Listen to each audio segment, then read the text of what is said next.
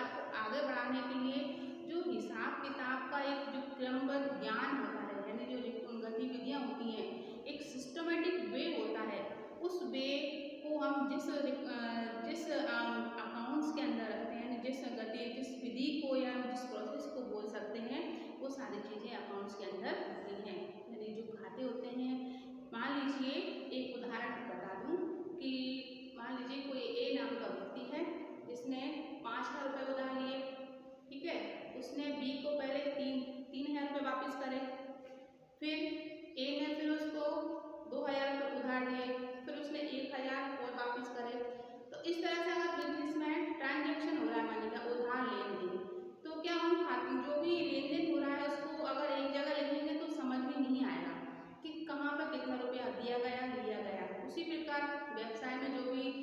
Transaction हो रहे हैं प्रॉफिट से संबंधित, या हमने कच्चा माल खरीदा है, कितने का खरीदा, पक्का माल कितने का बेचा मतलब कुल मिला के व्यवसाय में जो भी ट्रांजेक्शन हो रहा है, उसको एक साथ लिखने में गड़बड़ी हो जाएगी समझ में नहीं आएगा कि कहाँ पर कितना पैसा आया, कितना धन गया। तो उसका एक सिस्टम होता है। उस सिस्टम के अंतर्गत,